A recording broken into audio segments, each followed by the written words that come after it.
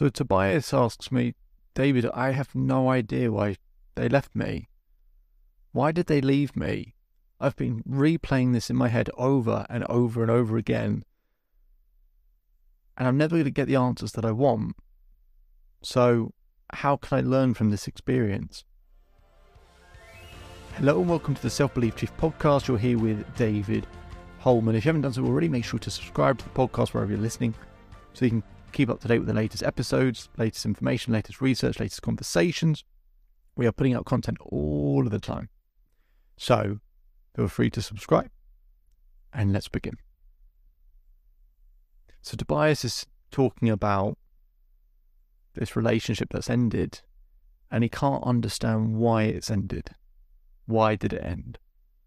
So we do a really simple exercise it's an exercise that I like that doesn't fix and solve everything, but really helps. And I know it helps, not only because I've used it with hundreds and hundreds of people, but someone did this with me when I was struggling with heartbreak. And it just opened my eyes and made me rethink relationships in a very different way. And it's such a trivially simple exercise. And as I said, it's not going to fix and solve and make everyone feel better, but it just allows you to understand what's actually happened and what the patterns have been. I asked Tobias, what are the four things you value most in a relationship?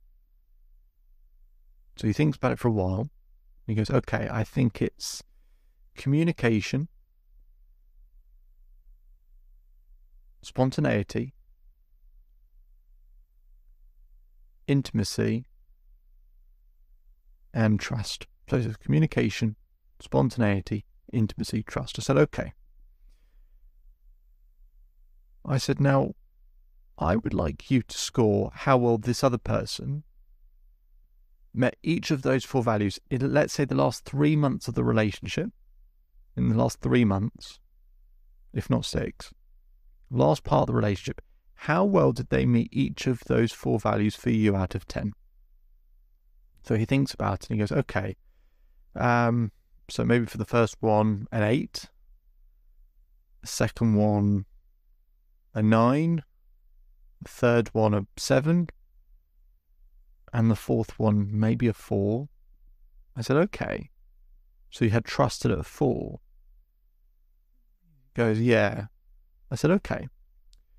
I said, now I would like to ask you a question. If I asked them what four things do they value most in a relationship, what would they tell me? So, not what do we think, what would they tell me are the four things they value most in a relationship? What do you think they would say? Tobias thinks about it. I can see him looking up, so he's trying to visualize what they might be. He goes, okay. He said, David, I, I think it's honesty. I think it's adventure. I think it's positivity. And he said, I think the fourth one is probably, if I had to choose between a few, maybe it's loyalty. I said, okay. I said, now I'd like you to score how well you think you met each of those four values in the last part of the relationship out of 10. What do you think? Sorry, and let me rephrase the question for you, Tobias. Not what do you think?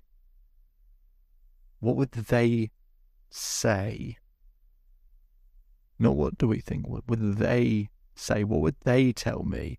Wrongly or rightly? he goes, okay, what they would probably say is maybe a seven. They'd probably say a three, a five, and a six. I said, okay. So can you see that if they're not at eights, nines, and tens, that there's something that could have been done better? He goes, yeah. I said, let's take, for example, one that you said was a four for you and the one that you think they would say was a three. I said, what probably happened was one of you was lacking or wasn't getting that value met at a high level. And once that happens, you've got three decisions you can make. You can either pull away, moving closer and become more needy,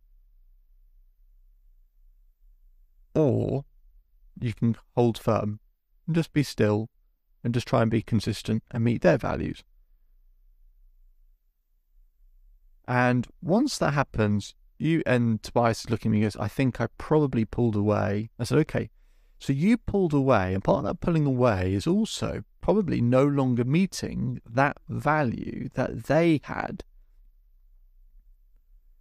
So to simplify even more so, it's you do A, they do B, you do A, they do B, and that's the nice consistent rhythm you had. One day, let's say one of you didn't do A, and the other person goes, "Ha, they didn't do A."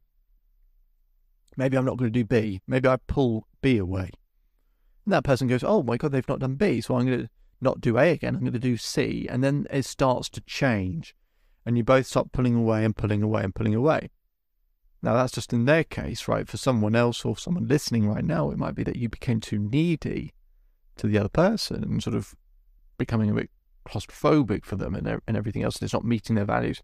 The key part is if you don't know what the other person values most in a relationship, the default is you'll give them what you value.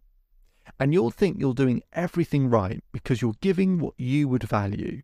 So you think you're doing the absolute maximum you can do, you couldn't do any more. And it might be the most that you can do in terms of meeting those values, but they're not the values that the other person wants. So for them, it feels like you're completely missing the target. You don't understand them. And people don't appreciate what you understand, they appreciate feeling understood. So a key thing you can do in any relation going forward is ask them, not you know, not the first date with a pen and paper, but after a couple of months, just ask them, what are the four things that you really value in a relationship? write them down, remember them, and then write them down somewhere. And if you can hit those at sevens, eights, nines, tens consistently, you'll do a much better job at hitting the target. And actually, it might be a hell of a lot less effort for you than doing way too much of what you value. Is just meet what they value. A nice, simple, easy way that you can do consistently to make them happy. It doesn't fix and solve everything, but it certainly makes a big difference. My name is David Hulman. If you change today, today will change your life. So enjoy the rest of your day. Enjoy the rest of your life. If you want to learn more, visit the Self Belief Chief website. And I'll speak to you again soon.